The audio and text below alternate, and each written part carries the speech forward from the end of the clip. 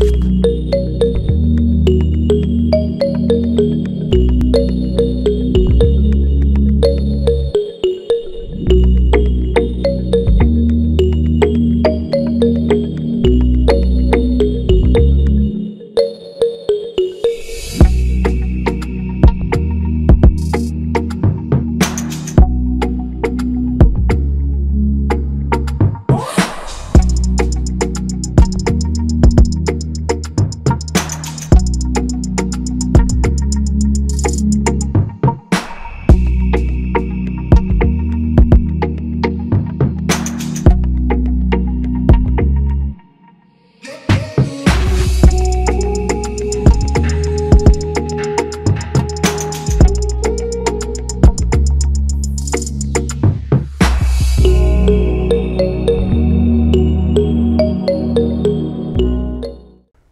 dear students, this is grade 11 mathematics lesson on unit 6 matrix and determinants.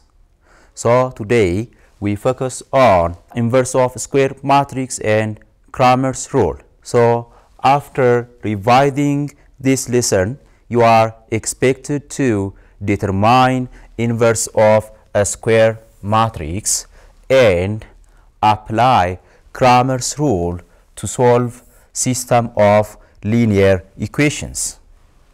So now let's proceed to the lesson.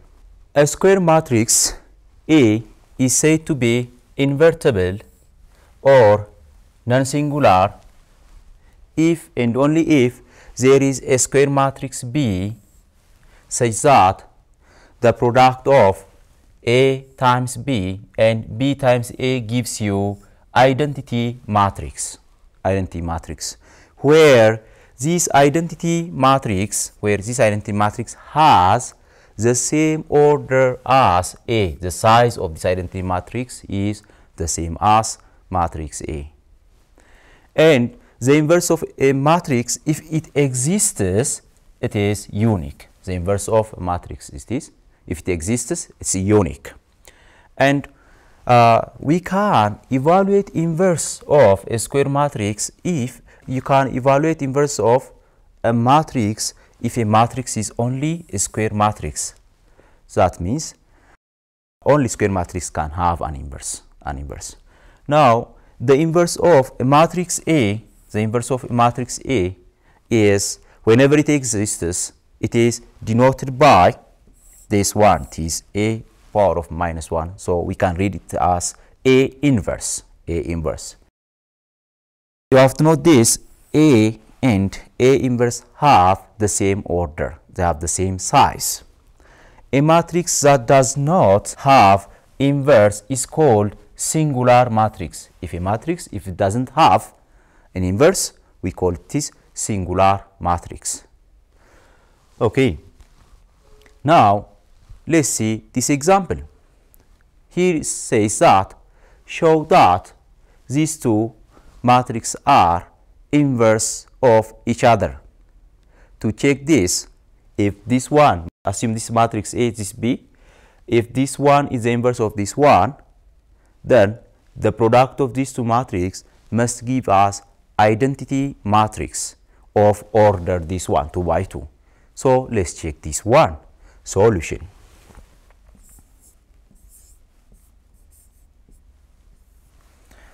Take this one, the first matrix, 3, 1, 5, 2 times the other one, 2, minus 1, minus 5, and 3. So, uh, we multiply this row by column. So, this the first row multiplies the column and therefore you have this one. 3 multiplies 2 it is 6 and this 1 multiplies negative 5 it is minus 5 and second this row multiplies second column 3 multiplies negative 3 it is negative 3 and this 1 multiplies 3 you will have positive 3 here this one multiplies uh, this row, second row multiplies this column, therefore 5 times 2 it is 10 and 2 times negative 5 is this negative 10 and the product of this also 5 times negative 1 is this negative 5 2 times 3 is this positive 6 therefore when you add this you get this result 6 minus 5 is it is 1 minus 3 plus it is 0 and this one is also it is 0 and the sum of these two it is 1 therefore as you can see the product of the two gives you an identity matrix of order uh, 2 by 2 which, which is equal to the order of the given matrix. Not only this one even you can check this. Uh, you can multiply uh, by changing these two. So uh, 2 2 minus 5 and minus 1 3 times second matrix 3 5 3 5 1 2 3 5 1 2 by the way you can multiply these two when you multiply you can check by yourself. When you multiply these two you get the same result 1 0 0 1 since since the product of these two matrix in the given order the first time the second or second times the first gives you identity matrix an identity matrix. So one of the matrix is the inverse of the other. So this is it. Therefore therefore uh, 3 5 3 5 1 2 1 2 and 3 5 1 2 and uh, 2 minus 1 2 minus 1 minus 5 minus 5 3 these are are inverse to each other. Are inverse to each other. Are inverse. They are inverse to each other. So this is it. Now uh, let's continue to the other part. So this is how we did the question. So they are inverse to each other. Now let's continue to how to find the inverse of invertible matrix uh, using adjoint using adjoint the adjoint of a square matrix A is this defined as the transpose of the transpose of matrix C where this matrix C is a matrix of cofactors of uh, the given matrix. Therefore, C is with or Cij is a matrix of cofactors of the element Aij. And adjoint of matrix A is denoted by this one. It is denoted by adjoint of A and it is given by adjoint of A is equal to the transpose of the matrix of cofactors.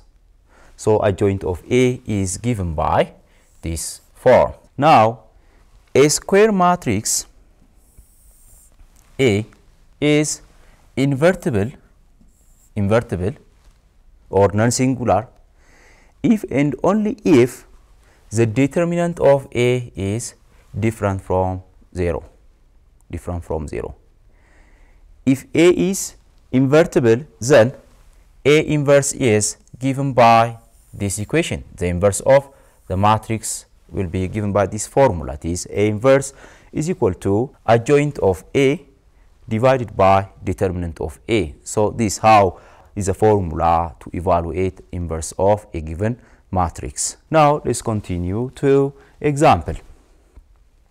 Here, we are asked to find the inverse of matrix A, where matrix A is given to be it is 2, 1, 0, 1, 1, 4, minus 3 to 5. To find the inverse of this matrix, we need to find, you know this, how to inverse the formula is equal to this adjoint, adjoint of matrix A divided by determinant of the determinant of A. This is a formula. Therefore, we need to find adjoint of matrix A and its determinant. So let's see this together.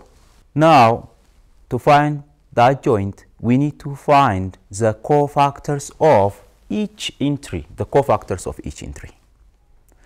Uh, so that will give us the cofactor matrix. So let's find that. Therefore, here C1, 1, this part, you cancel these two, you get this, the determinant of 1, 2, 4, 5. 1, 2, 4, 5, negative 1, the power of 1 plus 1. It gives you negative 3. And the cofactor of 2, 1, 2, or it's the cofactor of this number is simply delete this column and in this row you get 1, negative 3, and 4, 5, this result. So, and negative 1 times negative 1 the power of 1 plus 2. So, it, this gives you negative 17. And next we need to find the other cofactor, cofactor of the row. The cofactor of the row cancel this column and in this row you have this one, 1 negative 3, 1 negative 3, 1 2. Uh, so to find the minor by the way you can put this sign. This part is plus, minus, plus, minus this one, plus, minus, plus, minus, plus. We can use this to find its cofactor or to find uh, the sign of this one. Therefore, the cofactor of 1, 3, uh, 1, 3 is this number, it is plus, it is positive, this one is positive, and we cancel row and column and you get 1, negative 3, and 1, 2. And the determinant of this gives you this 5. And you continue for each entry uh, uh, like this. So the next entry is 1, 1. So the cofactor of 1, uh, it is minus here, cancel these two, you get 1, 2, 0, 5. The result gives you negative 5. And then the cofactor of the next number 1, the sign is plus, this it gives you plus. And cancel this to get 2, 3, 0, 5. 2, negative 3, I mean, and 0, 5. So, for this in 3, 4, 4, the sign is it is minus, this one is minus, this one is minus, and cancelling its 0 and column that 4 belongs, the, the remaining part will be 2 minus 3 and 1, 2. 2 minus 3 and 1, 2. And the result you get minus 7, 4, C to 3, C to 3. And you continue. Let's find the cofactor of negative 3. Minus sign, you put minus sign, this one it is plus, because uh, 3 plus 1 is it is 4, negative 1, the power of 4 is positive, so plus so when you cancel this row and column, you get 1, 1, 0, 4. 1, 1, 0, 4. So this result gives you this 4. And uh, C3 to this number, the sign it is. And uh, when you cancel the row and column that 2 belongs, you get to 1 and 0, 4. To 1, 0, 4. Therefore, the determinant of this value together with this one gives, gives you minus 8. And the next one, 5. So the sign is it is plus when you delete 0 and column uh, uh, the 5 belongs you get to 1 and 1 1 to 1 1 1 so this result gives you 1 therefore we have found the cofactor of each entry and we have found uh, the cofactor matrix.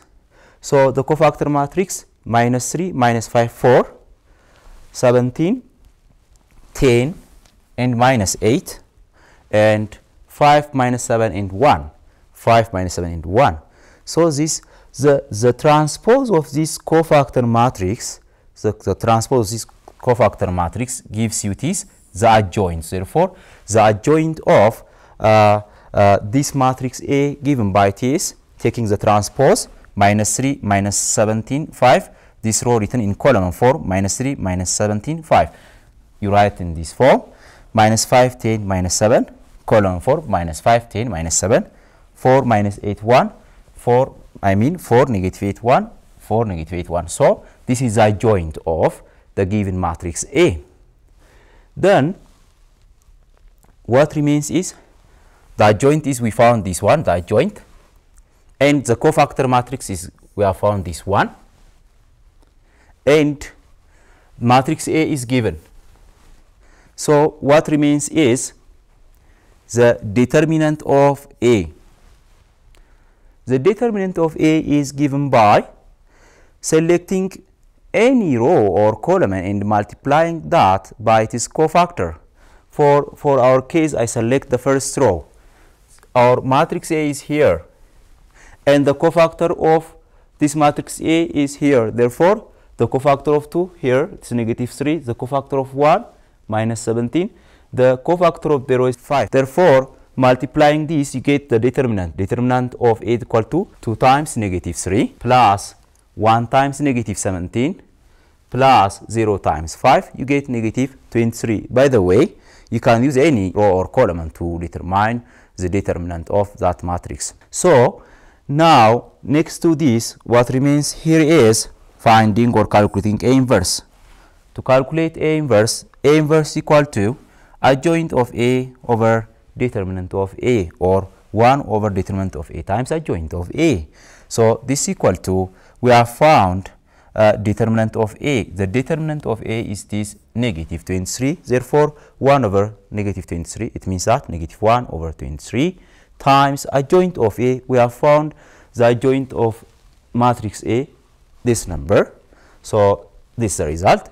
So, multiplying this matrix by negative 1 over 23, you get the result. Negative 1 over 23 times negative 3, it is 3 over 23 the product of negative 1 over 23 and negative 5 it is 5 over 23 the product of negative 1 over 23 times 4 it is negative 4 over 23 and so on. So therefore therefore the inverse of matrix A is equal to it is this result.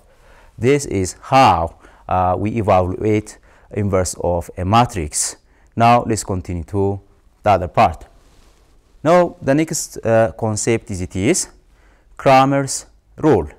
Cramer's rule in solving system of linear uh, equation. Now, uh, determinants uh, can be used to solve. We use determinants to solve system of linear equations with equal number of equations with unknown variables, with unknowns. So, now let's see how to apply the Cramer's rule. Now let's take this system of equation is given a1x plus b1y plus c1z is equal to d in the second equation a2x plus b2y plus c2z is equal to e and a3x plus b3y plus C c3z is equal to f. This system of equation has exactly one solution provided that the determinant of the coefficient matrix is different from 0 or non-zero, which means that the determinant of coefficient matrix means uh, this A1, I can write here A1, next A2, A3, here B1, B2, B3 and C1, C2, C3. This is, this is a coefficient matrix for this system of linear equation. If the determinant of this coefficient matrix is non-zero, implies that the system of equation has exactly one solution. And we can calculate uh, the solution using this form. Okay, so to find or to solve the value of x, you use this formula x equal to this dx over d. And y is equal to this dy over d and z is equal to it is dz over d D means it is the determinant of coefficient matrix. The coefficient matrix here it is A1, A2, A3, B1, B2, B3, C1, C2, C3. The determinant of the coefficient matrix is, is D. It is for all the denominator is D. Therefore, D is it is the determinant of the coefficient matrix and dx dx is simply it is uh, the coefficient matrix a little bit uh, modified. How? dx simply you change the coefficient of x by the solution by this one. So, uh, therefore, here you will have what? The coefficient will be, the coefficient matrix will be for dx will be it is D, E, F, B1, B2, B3, C1, C2, C3. Therefore, dx equal to this, the determinant of DEF, B1, B2, B3, C1, C2, C3. The determinant of this gives you dx. Similarly, dy is also, uh, it's a coefficient matrix a little bit modified. Uh, so, uh, the determinant of coefficient matrix by changing the coefficient of y by this one. Therefore, dy is equal to this a1, a2, a3. This is changed by the solution def and then c1, c2, c3. So, the determinant of this is this dy and z is equal to this dz over d. The determinant of the coefficient matrix of z uh, is simply you need to change the coefficient of matrix uh, of this part by the solution.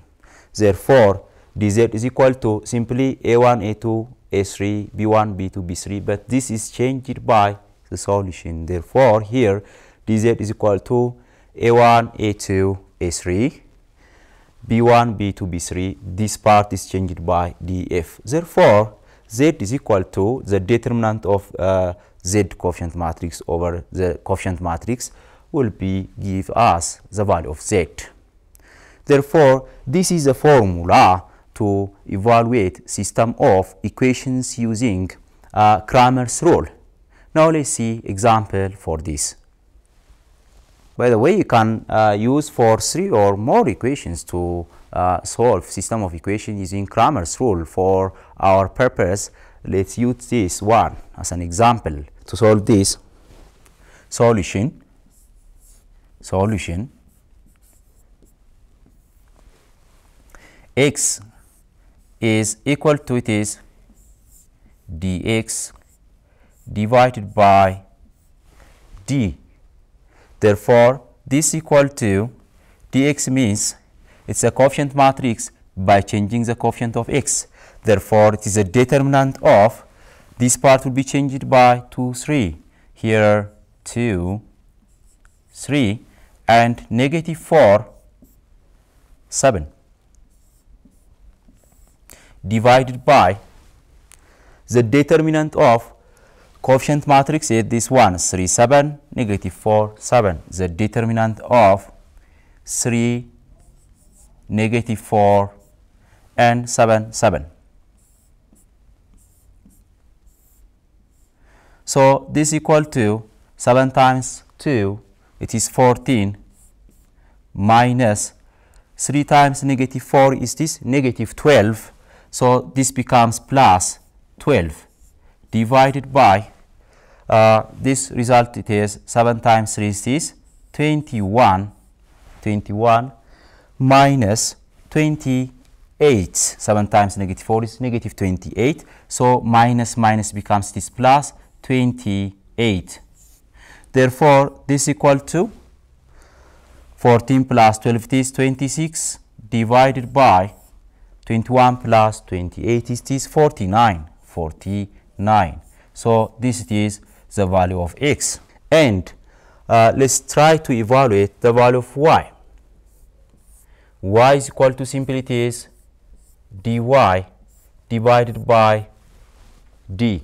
So this equal to dy is simply a coefficient matrix by changing the coefficient of y by the solution by this number. Therefore, this equal to c is the determinant of 3 7 3 7 and this part is changed by the solution to 3 to 3 divided by the coefficient matrix, determinant of coefficient matrix, since D we have found here it's 49, no need of doing again.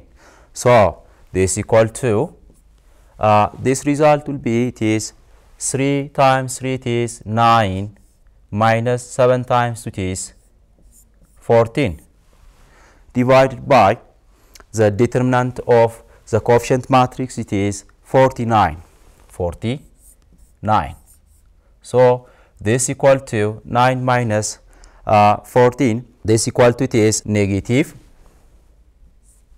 negative 5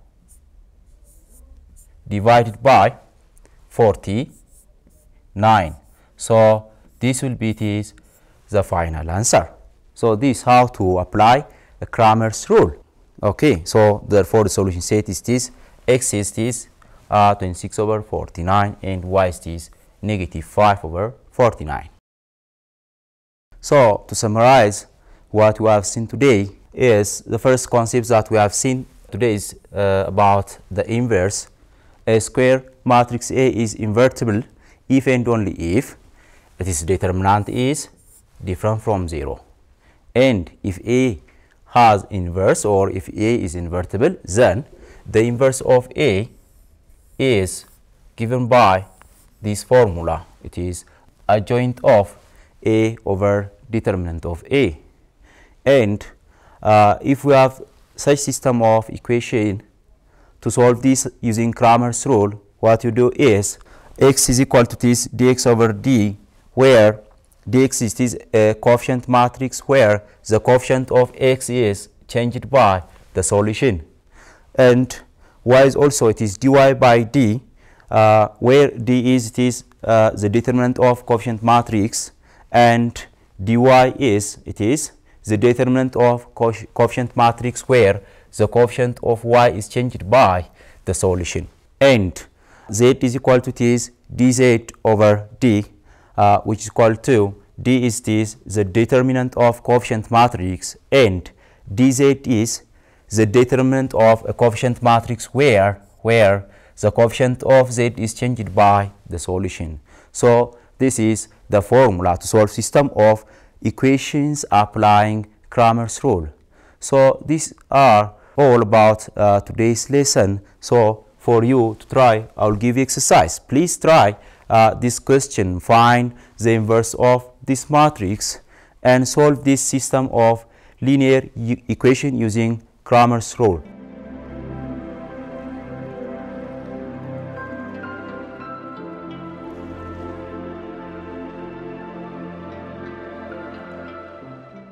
So this is all about today's lesson.